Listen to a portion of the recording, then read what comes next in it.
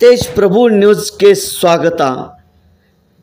ಜಾನಪದ ಕಲಾವಾಹಿನಿ ಮೆರವಣಿಗೆಯಲ್ಲಿ ಸಾಂಸ್ಕೃತಿಕ ವೈಭವ ಅನಾವರಣ, ಸೊಬಗು ಹೆಚ್ಚಿಸಿದ ಚನ್ನಮ್ಮ ರಾಯಣ್ಣ, ಒಬ್ಬವ ವೇಷಧಾರಿ ಪುಟಾಣಿಗಳು, ಮಳಿಗಿತ್ತು ವಿಜಯೋತ್ಸವದ ಕಹಳೆ, ಕಿತ್ತೂರು ರಾಣಿ ಚೆನ್ನಮ್ಮ ಬ್ರಿಟಿಷರ ವಿರುದ್ಧ ಗೆಲುವು ಸಾಧಿಸಿದ ಎರಡುನೂರನೇ ವರ್ಷದ ವಿಜಯೋತ್ಸವ ಹಾಗೂ ರಾಣಿ ಚೆನ್ನಮ್ಮಳ ಇತಿಹಾಸವನ್ನು ನಾಡಿಗೆ ತಿಳಿಸುವ ಉದ್ದೇಶದೊಂದಿಗೆ ಕಿತ್ತೂರು ಉತ್ಸವವನ್ನು ಈ ವರ್ಷ ಅದ್ದೂರಿಯಾಗಿ ಆಚರಿಸಲಾಗುತ್ತಿದೆ ಎಂದು ಜಿಲ್ಲಾ ಉಸ್ತುವಾರಿ ಸಚಿವ ಸನ್ಮಾನ್ಯ ಶ್ರೀ ಸತೀಶ್ ಜಾರಕಿಹೊಳಿ ಹೇಳಿದರು.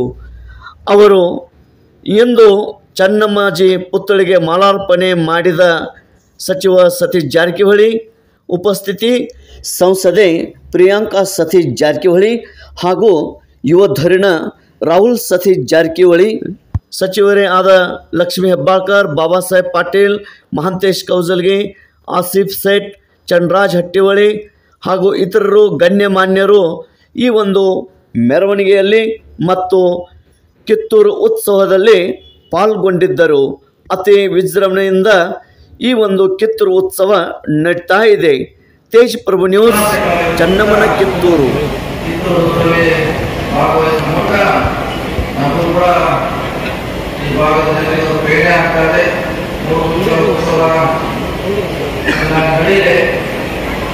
ಈ ವೇದಿಕೆ ಮುಖಾಂತರ ನಮ್ಮವರು ಕೂಡ ಕಲಾವಿದರು ಇವಾಗಲೇ ಬೆಳೆಯಲಿ ಚೆನ್ನಮ್ಮಾಜಿ ಆದರ್ಶ ಅವರು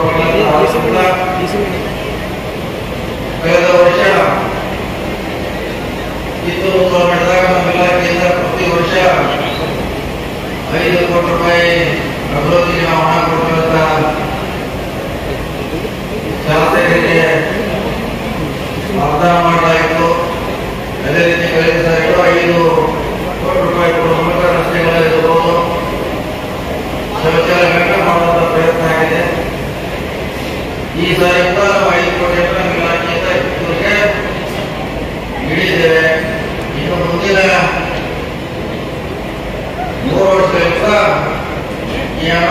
विशेष व्यक्तित्व